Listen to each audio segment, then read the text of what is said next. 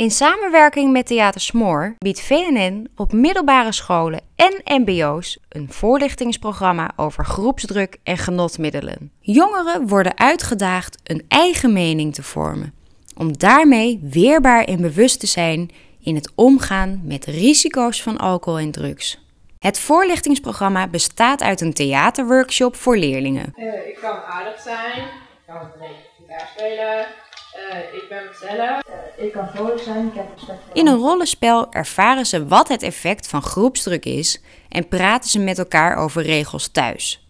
Vervolgens maken ze onder leiding van een professionele acteur een theatervoorstelling. Aansluitend aan de workshop is er een ouderavond op school. Leerlingen presenteren hun eigen gemaakte voorstelling. Doe het gewoon, anders ben je stom. Doe het, anders ben je een mietje. Kom op, Kom op nou. Doe het, anders ga je eraan. Doe het. Doe het. Doe het. Doe het. Doe het. Doe het.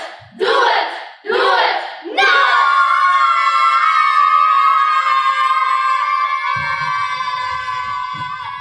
Een preventiemedewerker van VNN geeft voorlichting over de werking van alcohol op jonge hersenen.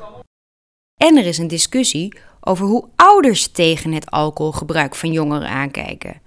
De acteurs van Theater Smoor spelen in samensspel met de ouders opvoedingssituaties na die te maken hebben met de regels en afspraken rond alcoholgebruik. Thuis of niet? Ik zit hier al heel lang op jou te wachten. Nou, je kunt ook gewoon naar bed gaan. Dat is toch onzin? Ik maak mij doodongerust. Jij zou al lang thuis zijn. Ik ben er nu.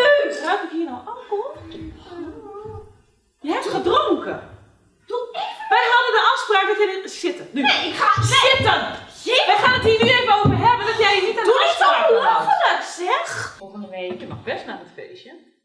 Maar je mag geen alcohol op het feestje. Oké. Dus? Dus, ja. Ja, dus. Dus jij mag kiezen hoor. Of gezellig bij mij en dan eh, gaan we de hele avond leuke filmpjes kijken. Of jij gaat met je vrienden een feestje bouwen. Ja, oké. Maar geen alcohol. Je bent er overdag met jongeren mee bezig. S'avonds praat je er met de ouders over. En morgen praten jullie thuis over. Dat is eigenlijk de enige manier die uh, werkt.